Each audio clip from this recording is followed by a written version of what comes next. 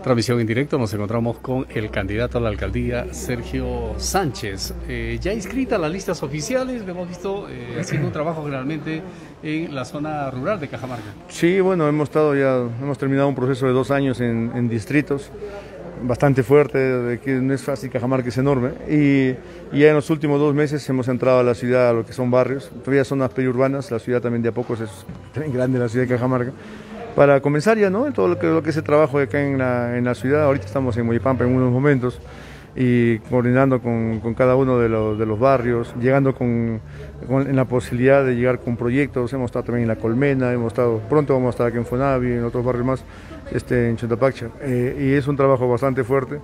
Ahora hay menos candidatos, ¿no? Hay 10 me parece, entonces eso permite también que la gente pueda mirar con mayor claridad este, cada una de las propuestas, que es a lo que también uno apuesta, ¿no? Tener propuesta concreta que le permita a la gente finalmente en ese espacio democrático decidir definir por quién va a dar su voto. ¿no? Sergio, la coyuntura es difícil, es complicada por el tema de salud, la pandemia, el frágil eh, eh, eh, historial político que tiene el país. ¿Qué es lo que se puede hacer en cuatro años si usted es alcalde? Eh, ah, en tema provincial.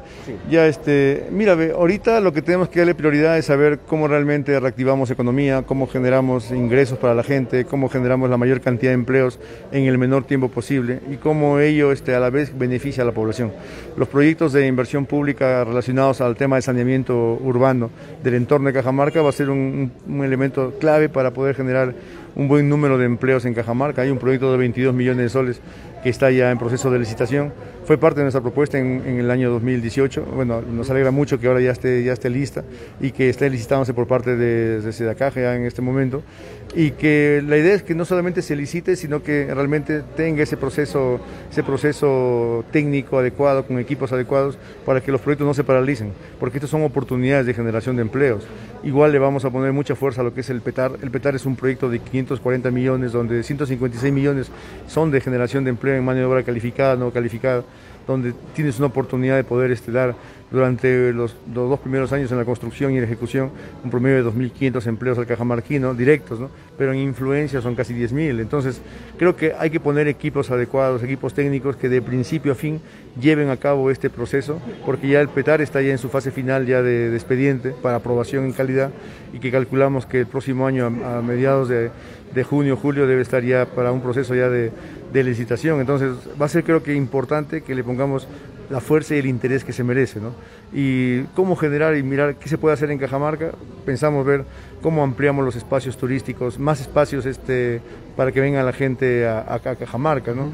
reactivar la fiesta de las patronales, hacer festivales de cachua, festivales de gastronómicos, eh, activar Santa Polonia, relanzar Santa Polonia de noche, bien señalizado, iluminado, articulado a los museos, al Museo de Cajamarca, articulado al, al ¿cómo se llama?, a la Iglesia de Belén.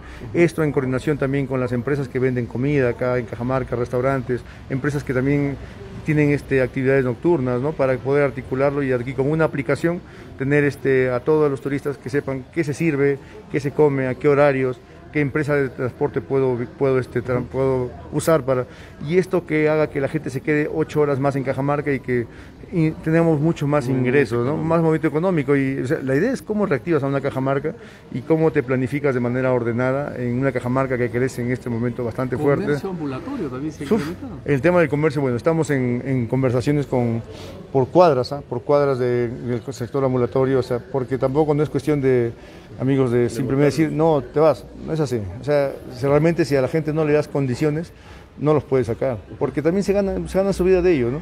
Y lo que estamos en conversaciones es en buscar un espacio común, un espacio común amplio donde nosotros podamos, este, en, en consenso con ellos, tener un espacio donde se pueda tener a, los, este, a, a los comerciantes. Hay otros espacios que tienen ahí, también están creados, hay que darle condiciones. Pero también una vez que tienes el espacio creado, sacas la ordenanza adecuada para que las cargas y descargas sean en este espacio. O sea, no puedes tener un espacio sin tener las, las ordenanzas que vayan este, en coordinación. Entonces, para este, lograr todo eso se necesita también de un equipo humano. Sí, de porque No, no solo una persona puede lograr no, todo por supuesto que no, ¿Usted cuenta con todo eso? Mira, tenemos buen equipo ahorita y tenemos equipo en todas las líneas en este momento, desde seguridad ciudadana, que pensamos este, nuevamente reactivar este 10, 10 cuadrantes de marcos, los marcos de seguridad, porque hemos hecho una evaluación, es necesario reaperturarlos en Muelle Pampa. ¿Quiénes tendrían esa responsabilidad? ¿Son eh, civiles? No, hay gente con experiencia. Por ejemplo, en el caso de Seguridad Ciudadana está apoyándonos bastante fuerte en todo el diseño el coronel William Vázquez. ¿no? El coronel William, y es una persona, es un, es un estratega, un visionario de, de, lo que es la seguridad y nos está apoyando mucho y tiene este, una consideración y cariño enorme por Cajamarca. El tema de infraestructura también es otro pilar. Sí, de hecho. Mira, el tema de infraestructura, inclusive estamos articulados con entes de Lima en este momento para ver el tema de la infraestructura vial que es importante para nosotros y ver realmente cómo esto nos ayuda a poder generar estas mejoras en el tema de, en el tema de viabilidad, en el tema físico, pero también cómo trabajamos desde el lado del transportista mismo. Uh -huh. Tenemos en este momento este, una tarjeta única de circulación que en otras partes del país es a dos años, pero acá es a seis meses. Entonces, por un lado, generamos un fastidio en la población en el sentido de que lo ahogamos en cuanto a los, en cuanto a los, a los costos. ¿no? Por ejemplo, nosotros hemos propuesto que la tarjeta única de circulación pase de seis meses a dos años con un único pago. Uh -huh. Y que si la, bueno, si, si la gente lo vea bien, eso es lo que se va a proponer. Hay cinco propuestas más, obviamente, Correcto. ¿no? En el, el tema, tema de, de, los regidores, ¿la plancha está completa ya? No, ya todos están inscritos en el declara interna ya de hace dos semanas. Por eso que este, este proceso nuevo, se podría decir, que se ha generado aquí en Cajamarca de la, lo que es este, en el Perú, de lo que es las nuevas elecciones, o sea, las elecciones ha hecho que todo se apresure, ha cambiado la norma totalmente. Ya no se improvisa. Ya no se improvisa, no se improvisa sí, bueno, en muchos casos han hecho que muchos improvisen, ¿no? Por el tema de las paridades, pero hace que nosotros realmente miremos con, con más tiempo cada uno de los que son regidores, inclusive antes de la inscripción general que es en junio. Normalmente se había en junio, pero todo lo hemos tenido que ver en este abril. En tal sentido ya están las planchas, estamos este, ya en todo este proceso dando oportunidad al tema de jóvenes, comunidades campesinas, este, profesionales. De hecho, de hecho que sí, ¿no? Y creo que eso, con, eso va a ser importante para nosotros. Es importante para nosotros porque no solamente es un, son regidores en el tema político, sino son equipo técnico a la vez también. Teniendo ya la lista oficial, candidatos a vencer, eh, señor Sergio. ¿Cómo dice? Teniendo ya la lista oficial inscrita y también conoce a sus contendores, candidatos a vencer, ¿quiénes serían? Bueno, mira, yo creo que todo hay ahorita en este momento se van a presentar 10 candidatos, ¿no? hasta el momento que están inscritos. La contienda política es un, este, un, espacio democrático donde todos son importantes, ¿no?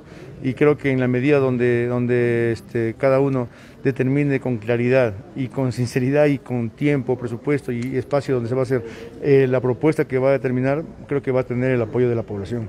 No es que porque uno que tenga más plata va a ser el favorito, o porque el otro que está trabajando más tiempo también es el favorito. O sea, este es un tema democrático donde la población es la que realmente decide quién es el, la persona adecuada. ¿no? O sea, yo sé que hay, hay puede haber quizás algunos que están más, más tienen más espacio político, están más mejor, están vistos ya este, más tiempo, ¿no?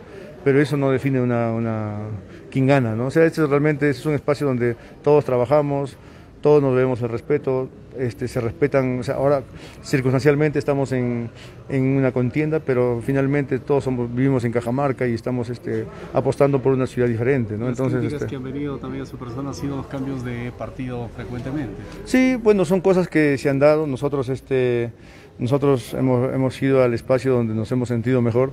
En otros espacios políticos ya tenían ya sus candidatos y entonces este, si teníamos la firme convicción de presentarnos y hacer algo por Cajamarca, teníamos que ver dónde nos podíamos, este, dónde podíamos anclar ¿no? y poder este, posicionar y hacer el trabajo político necesario. La idea, esta es una elección vecinal. Muy aparte del partido político, la gente ve a las personas, ¿no? Y en cada uno de los 10 candidatos en Cajamarca, la gente va a ver a la persona, al vecino que se presenta, al vecino que te propone, al vecino que se acerca y al vecino que te puede dar mejores posibilidades de desarrollo y bienestar en la población. Muchísimas gracias, revisamos con más en breve.